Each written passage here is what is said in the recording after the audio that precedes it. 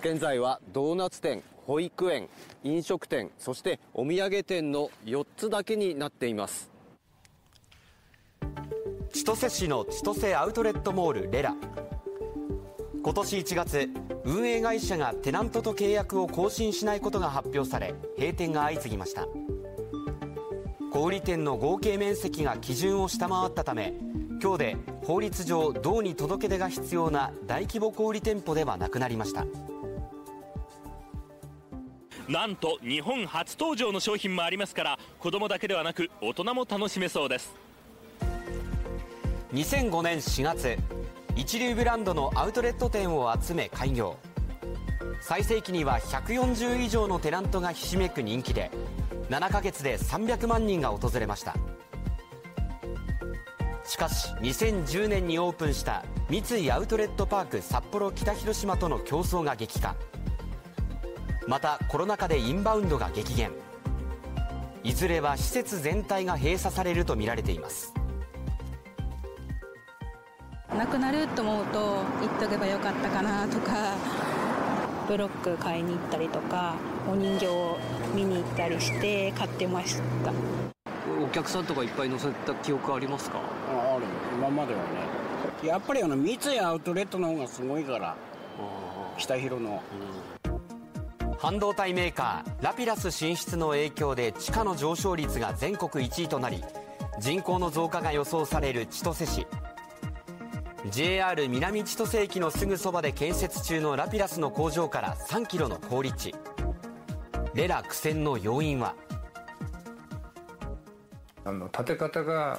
どちらかというと北海道向きじゃないっていうね、まあ、雪の吹きさらしになるところを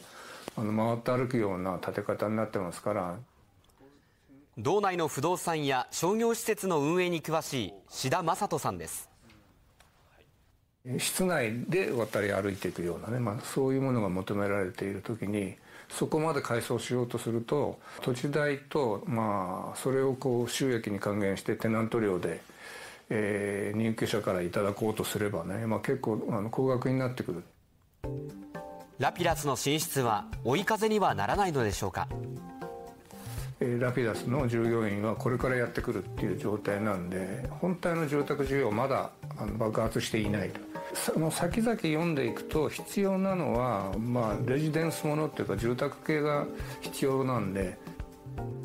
すっかり寂しくなってしまったレラ。しかしここに救われたという夫妻がいます。例えばレラに入っていなければ今この状況はまずなかったと思うんですね我々夫婦の中ではやっぱり年取って時間が経ってもそのレラっていう言葉は出ると思うんですね。はい。忘れることはちょっとないかな。道の駅などで週末には1日400本売れるという人気商品別腹団子。製造から納品まで全てを2人で手掛ける宮本譲さんとまどかさん夫妻です。